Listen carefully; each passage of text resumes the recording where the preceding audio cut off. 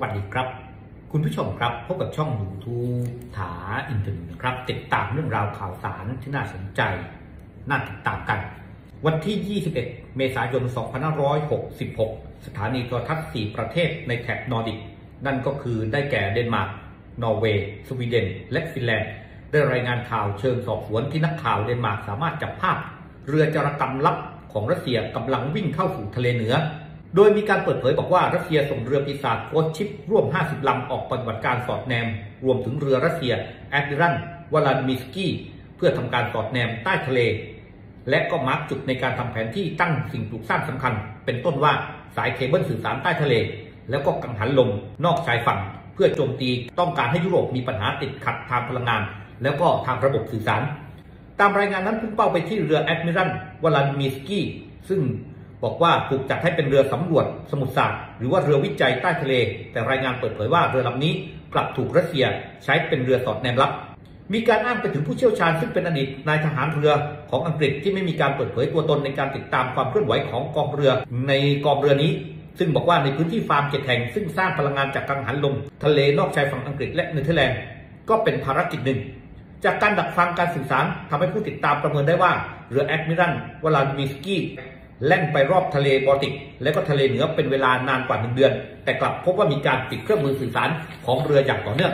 เส้นทางของเรือนั้นผ่านไปทั้งฟาร์มกังหันลม ในทะเลที่ยังคงปฏิบัติการอยู่และรวมไปถึงจุดที่ฟาร์มจะเริ่มต้นทำงานในอนาคต พบว่าเรือของรัสเซียลอยลำอยู่ในบริเวณ พื้นที่ดังกล่าวเป็นเวลาไม่กี่วัน ภาพของทีวีแสดงให้เห็นว่านักข่าวจากสถานีโทรทัศน์เดนมาร์กเข้าไปหาเรือสำรวจรัสเซียที่ลอยลำใกล้กับเมืองเกรนาทางตะวันออกของเดนมาร์ก ภาพที่ปรากฏต่อหน้านักข่าวเดนมาร์กที่ได้เห็นก็คือชายคนหนึ่งในเครื่องแบบพร้อมปืนไรเฟิลของกองทัพรัสเซียบนลำเรือดังกล่าว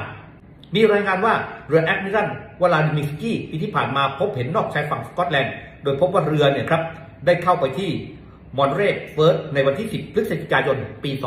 2565 และยังพบเรือลำนี้ปรากฏตัวห่างออกไปราว 30 ไมล์ทะเลทางตะวันออกของลักเซียเมาส์ซึ่งเป็นที่ตั้งของ HQ กองบัญชาการ เครื่องบินรบลาดตระเวนทางทะเลของกองทัพอากาศอังกฤษ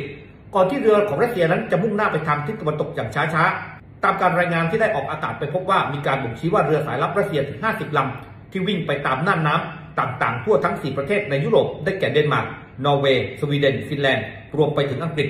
การสอบสวนระบุว่าเรือเหล่านี้แฝงตัวเป็นเรือประมงพาณิชย์ หรือว่าเรือวิจัยและมักจะปิดระบบชี้ตัวตนอัตโนมัติที่เรียกว่า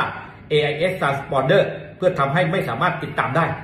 ซึ่งการติดตามกองเรือสายลับรัสเซียเหล่านี้จำเป็นต้องใช้ช่องทางอื่นเป็นต้นว่า ระบบโซนาร์ภาพถ่ายดาวเทียม หรือว่าเรือตรวจการในการตรวจสอบ นี่เป็นความเคลื่อนไหวล่าสุดนะครับ ที่ทางด้านทีวีของสี่ชาตินอร์ดิกนั่นก็คือสี่ชาติยุโรปเหนือได้แก่เดนมาร์กนอร์เวย์สวีเดนและก็ฟินแลนด์นั้น ได้มีการรายงานร่วมกันครับว่าเวลานี้พวกเขากำลังถูกสอดแนมเพื่อที่จะดำเนินการเตรียมการโจมตีสายเคเบิลใต้น้ำและก็ความกังหันลมในทะเลนอกชายฝั่งของประเทศต่างๆ จากทางด้านรัสเซียครับ